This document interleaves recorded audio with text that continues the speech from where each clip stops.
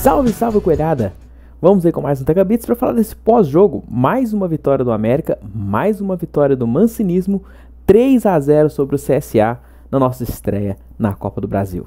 Antes de mais nada, né? Lembre de dar aquele like no vídeo, se inscrever aqui no canal e ativar as notificações para receber sempre aviso de novos conteúdos aí, sempre que a gente lançar algum videozinho novo no canal e tudo. E que é muito importante pra gente, né? E também deixar seu comentário, porque a gente tenta interagir, é sempre legal quando vocês comentam também. Pois bem, como é bom ter um treinador, né? O Wagner Mancini, terceira partida dele no comando do América, mais uma partida com gols, um 3 a 0 já é o oitavo gol, né, do time sobre o comando do Wagner Mancini.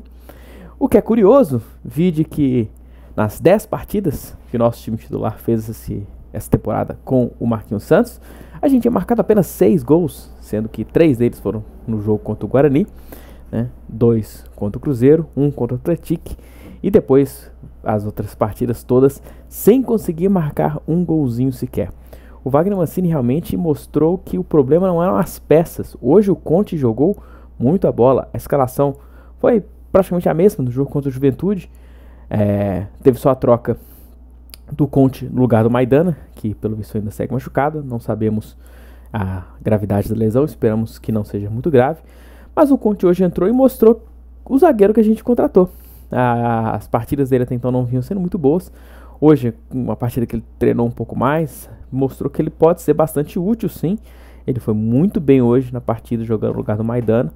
Fez uma boa dupla de zaga com o Éder ali. Novamente, o Zé Ricardo fez outra partidaça, outra excelente partida do Zé Ricardo, sendo muito utilizado até em jogadas né, de, de escanteio. Como melhoraram as nossas jogadas de escanteio, né? Ainda que nem tudo seja bola na área, a gente está fazendo muitas jogadinhas de escanteio curto, trabalhadas. A gente tem criado é, perigo. E o primeiro gol saiu assim, né? No segundo tempo. O primeiro tempo foi muito amarrado, o time deles tentou alguma coisa, estava marcando pressão, a gente tinha certa dificuldade para sair jogando. Nosso jogo não encaixou muito, um jogo meio marcha lenta ali. Ele, a gente teve duas chances com o Juninho, que perdeu putz, um lance praticamente sem goleiro, que dá um toquinho muito fraco, o Werner consegue tirar. O outro que ele tenta dominar, a bola escapa, o goleiro pega. Se ele parte de primeira, talvez tivesse mais chance de sucesso.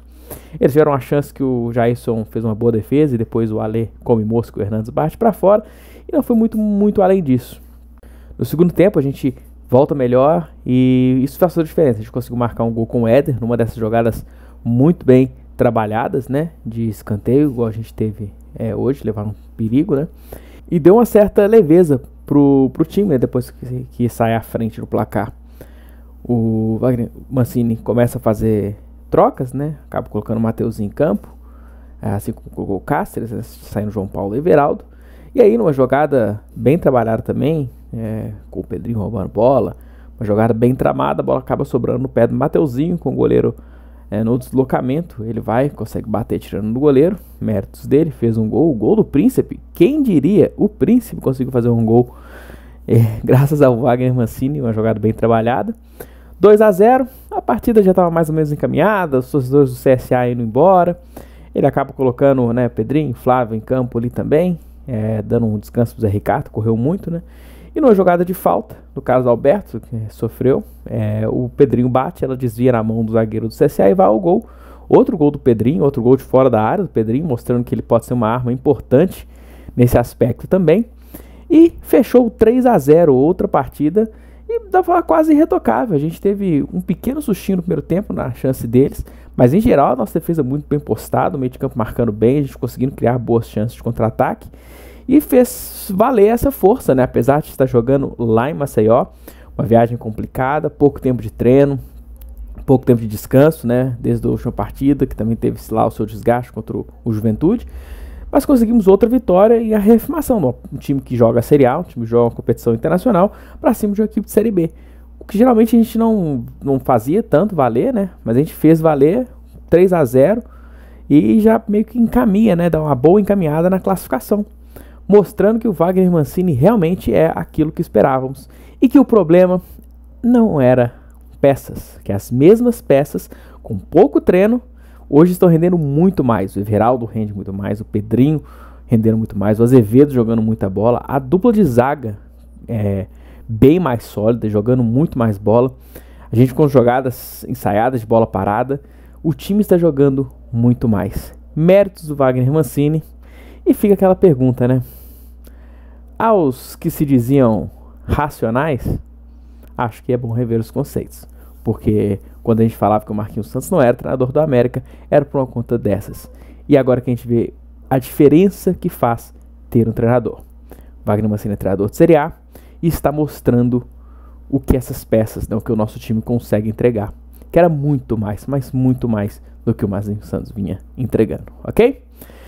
Feliz, né? Ah, mais uns milhões aí na conta. Já dá quase para fazer o Pix, né? Vai ter um jogo protocolar na volta, embora ainda tenha, né? Todo cuidado é pouco.